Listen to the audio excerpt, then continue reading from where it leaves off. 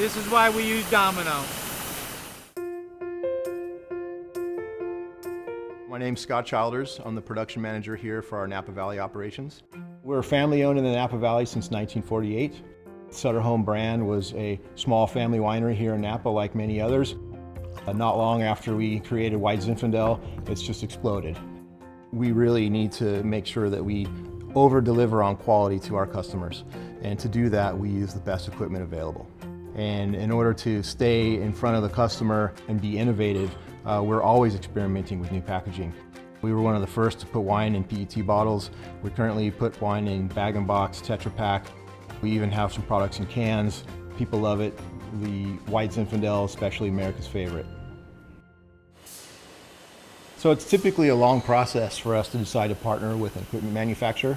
Uh, many times we'll visit other facilities, take a look at their equipment if we're interested. During that process, we had a choice of vendors to choose from, and Domino was our first choice.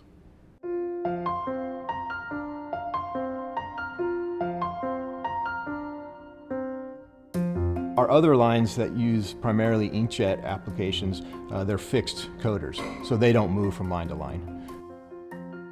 But the laser was specifically designed to move from line to line and also facility to facility. We have another facility nearby where this laser could be moved to use there as well.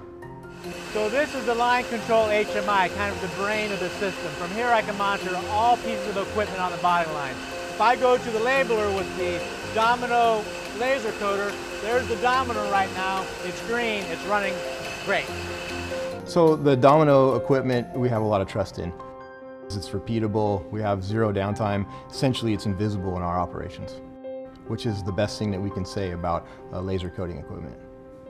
We're lucky. We get to purchase equipment from the top manufacturers in the packaging industry. We also like to purchase equipment from people that we like doing business with.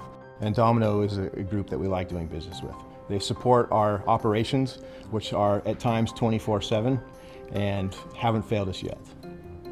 In the wine industry, it's relatively open in terms of sharing information about equipment. We've hosted many other wineries specifically to come in and look at our Domino equipment, and I know that everybody's come away very impressed. You know, if we had to do this all over again, uh, I would have just done it sooner. This is Jim Reed at Sutter Home Winery in Lodi, California. Thanks, Domino.